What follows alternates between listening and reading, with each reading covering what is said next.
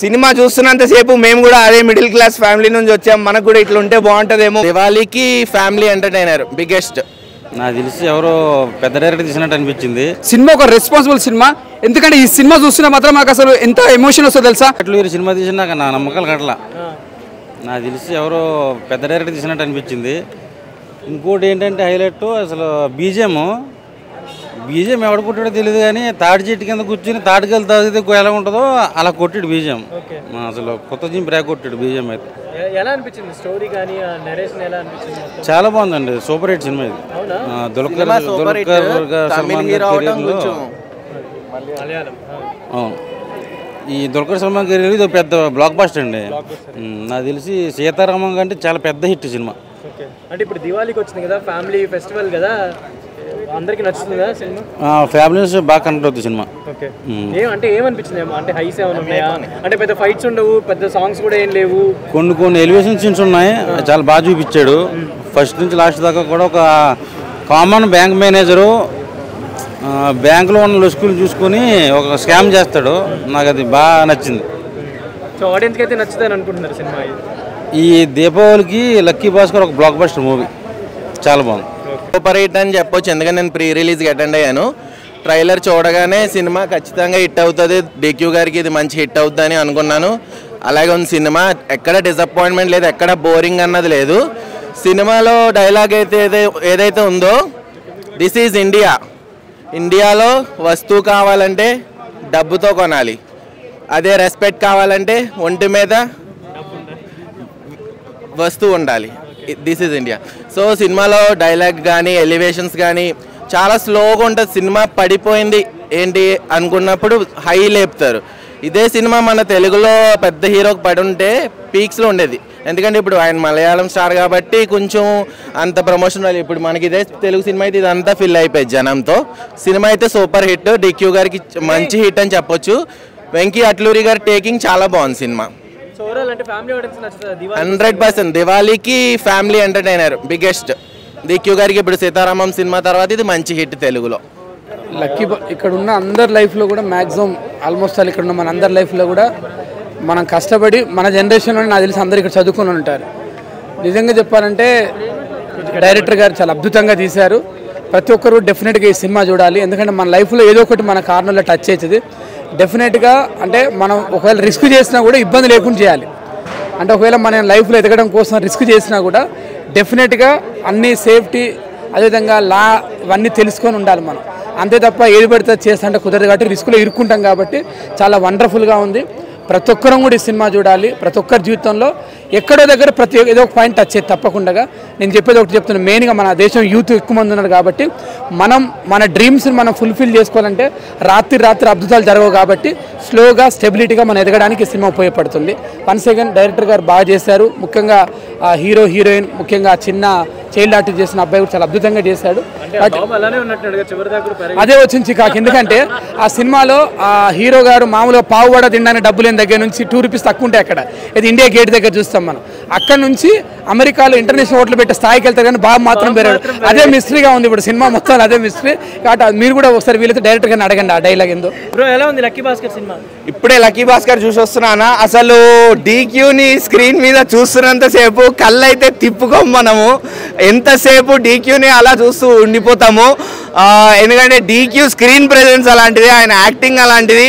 సీతారామం తర్వాత స్ట్రైట్ తెలుగు ఫిలింతో ఇన్నాళ్ళ తర్వాత టూ టూ ఇయర్స్ గ్యాప్తో లక్కీ భాస్కర్తో వచ్చారు.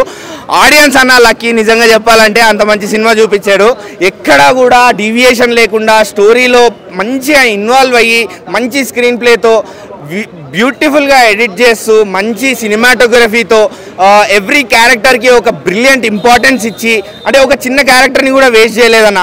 Every character plays an important role and especially Venky Atluri గారికి హ్యాట్స్ ఆఫ్ బికాస్ ఈ రోజుల్లో హీరోయిన్కి కొంచెం ఇంపార్టెంట్ రోల్ అనేది దొరకడం చాలా రేర్ కమర్షియల్ ఎలిమెంట్స్కి మాత్రమే వాడుకుంటున్నారు. But in this movie Meenakshi Chaudhary గారికి రోల్ బాగుంది అట్లనే ఆవిడ స్క్రీన్ ప్రెజెన్స్ కూడా బాగుంది.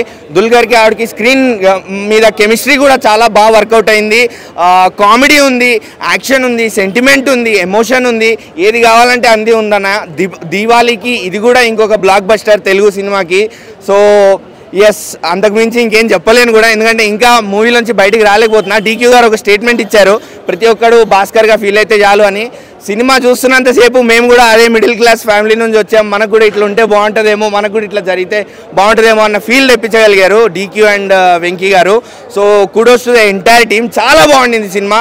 సూపర్ అంటే సూపర్ బాగుంది. చాలా బాగా యాక్ట్ చేశారు. డిక్యూ యాక్టింగ్ చాలా బాగుందండి. చించేశారు యాక్చువల్గా అంటే మిడిల్ క్లాస్ నుంచి వచ్చి సంపాదిస్తారు కదా డబ్బు. డబ్బు ఉంటేనే వాల్యూ ఉంటుంది కదండి. చాలా బాగా అది నచ్చింది. పెద్దగా సాంగ్స్ కానీ పెద్ద ఫైట్స్ కానీ ఏమో అంటే ఏం అంతగా లేదు కదా. సినిమా అంత ఎంటర్టైనింగ్గా ఉంది అంటే ట్విస్ట్లు ఉన్నాయి కదండి అవి బాగా బాగున్నాయి.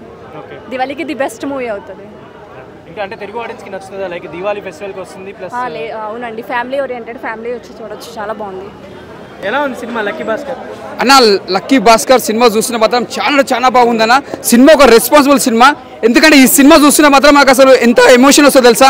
మళ్ళీ నాకు ఒక శంకర్ దాదా ఎంబీబీఎస్ గుర్తొచ్చిందన్న. ఎందుకంటే ఆ సినిమాలో కూడా అంతా చిరంజీవి చూడని మొత్తం బ్యాక్గ్రౌండ్ కానీ ఆ స్క్రీన్ ప్లే కానీ అది చూస్తున్న మళ్ళీ నాకు ఒక శంకర్ దాదా ఎంబీబీఎస్ ఒక టెన్ ఫిఫ్టీన్ ఇయర్స్ ఇక గుర్తొచ్చింది. మళ్ళీ ఇప్పుడు కూడా అంత ఎంజాయ్ చేసాం సినిమా. చాలా బాగుంది. ఎందుకంటే ఒక ఒకటే చెప్తున్నాను నేను ఎవరైనా జాబులు చేసే దగ్గర రెస్పాన్సిబుల్ చేసే దగ్గర ఒక బ్యాంకులో జాబ్ చేసినప్పుడు ఎక్కడ జాబ్ చేసినా కూడా మన మీద నమ్మకంతో సార్ వాళ్ళు ఒక రెస్పాన్సిబుల్ ఉంటుంది ఆ రెస్పాన్సిబుల్ అనేది ఇది రెస్పాన్సిబుల్ సినిమా ఇది. ఇది ఒక సినిమా ఒక సినిమా లెక్క చూసుకోవాలి. కనెక్ట్ అవుతుంది. అయితే అర్థమవుతుంది అర్థమైతే ఒకటి అదే చెప్తున్నా కదా అర్థమవుతుంది కాకపోతే అంటే రియల్గా లైఫ్లో అట్లా కాదు. రియల్ లైఫ్లో ఎట్లా ఉండాలంటే మనం ఒక దగ్గర రెస్పాన్సిబుల్ జాబ్ చేసేటప్పుడు ఒక రెస్పాన్సిబుల్గా ఉండాలి. అది సినిమా అనమాట మనం జాగ్రత్తగా ఉండాలి. ఎక్కడైనా మనం బ్యాడ్ నేమ్ తెచ్చుకోవద్దు. సినిమా మాత్రం చాలా బాగుంది. ఇంకోటి ఏంటంటే ఒక బ్యాక్గ్రౌండ్ మ్యూజిక్ కానీ స్క్రీన్ ప్లే కానీ డైరెక్షన్ కానీ అసలు దుల్కర్ సార్ మాత్రం యాక్టింగ్ మాత్రం ముందుగా హ్యాట్సాప్ చెప్పాలి. ప్రతి సీన్ ఒక చిన్న ఒక లైఫ్లో కూడా అంటే గొప్పదంటే ఎట్లా లైఫ్ ఎట్లా ఉంటుంది పేదలంటే లైఫ్ ఎట్లా ఉంటుంది అన్నట్టు చూపించిండు. లాస్ట్ టైంలో కూడా ఆయన పేదరికంలో ఉండాలి. అంటే ఇలానే బతకాలి ఇలా దాంట్లోనే మనకు ఒక హ్యాపీనెస్ ఉంటుంది. అలా భార్య కోరుకుంటాను అనమాట ఇట్లా కాదు నువ్వు ఫస్ట్ ఎలా ఉన్నావు అలానే కావాలని ఒక ఉంటుంది. ఆ భార్య కోసం కూడా ఆయన ఎంత తపన పడతాడంటే ఫ్యామిలీ కోసం కూడా అన్ని వదులుకుంటాడు. లాస్ట్ కూడా మళ్ళీ లక్కీ భాస్కర్ అని వస్తుంది. మళ్ళీ ఎక్కడ పోయినా లక్కీ అనేది తలుగుతుంది ఆయనకి. ఎంత కూడా ఎంత కూడా వదులుకున్నా కూడా మళ్ళీ అనేది లక్కీ అనేది ఎంబర్ తలుగుతూనే ఉంటుంది. ఇది సినిమా లక్కీ భాస్కర్. సినిమా కూడా చాలా చాలా బాగుంది ఎక్కడ బోరింగ్ లేదు. రీడింగ్ వచ్చి ఫైవ్కి ఫైవ్ ఇస్తాను? బాగా ఎంజాయ్ చేసాను మూవీ మొత్తం నేనైతే బాగా ఎంజాయ్ చేశాను నాకు స్టార్టింగ్ ఆ మూవీ చూస్తుంటే కొన్ని లైన్స్ వచ్చాయి. హే హే భాస్కర్ నిన్ను ఎవరు అడ్డుకోలేరు. నీకు ఎవరు సాటి రాలేరు. నీ దూకుడును ఎవరు తట్టుకోలేరు. నువ్వు ఇచ్చే ఎంటర్టైన్మెంట్కు ఆడియన్స్కు బంపర్ ఆఫర్ ఈ మూవీతో వెయ్యి కోట్ల కలెక్షన్స్ బరాబర్. నాకు అంత బాగా నచ్చింది. ఇంకొకటి ఆయన స్టోరీ సెలెక్షన్ విధానం కానీ ఈ సెవెన్ ఎయిట్ మూవీస్లో మనం చూడొచ్చు. సెవెన్ ఎయిట్ మూవీస్ మనం చూడొచ్చు. మొత్తం పాతకాలపు స్టోరీ తీసుకున్నారు దుల్క దుల్కర్ సల్మాన్. నాకు చాలా హ్యాపీ అయింది. అంటే ఇప్పటి కాలం వాళ్ళు మనం ఎక్కువ కొన్ని పాటించాం కొన్ని పాటించాం అప్పుడు ఎంతో పద్ధతిగా ఉంటారు. అన్ని పద్ధతిగా ఉంటూ సడన్గా మిడిల్ క్లాస్ లైఫ్లో సడన్గా పెళ్ళి సడన్గా పెళ్ళి చేసిన తర్వాత కొన్ని వచ్చి ఏదన్నా కొన్ని కళలు వెనక్కి వెళ్ళడం అన్నీ ఆగిపోవడం సడన్గా డబ్బు వచ్చాక అతని బిహేవ్ చేసే విధానం చాలా స్క్రీన్ స్పేసెస్ మంచిగా సెలెక్ట్ చేశాడు వెంకట్ గారు. ఇది ఇక్కడ మిడిల్ క్లాస్ డబ్బు అనే పాయింట్ తీసుకున్నాడు కానీ మళ్ళీ ఆ, డబ్బు ఎక్కువ డబ్బు ఉన్న వాళ్ళు కూడా వాళ్ళకి ఎన్నో కళలు ఉంటాయి. సడన్గా ఏ ఏదైనా కొన్ని ఇది సాధించలేదు ఉంటుంది. సడన్గా అది సాధి ఆ సిచ్యువేషన్ వచ్చినప్పుడు వాళ్ళు తట్టుకోలేక వాళ్ళు చేసే బిహేవియర్ కానీ చాలా బాగా నచ్చింది నాకైతే.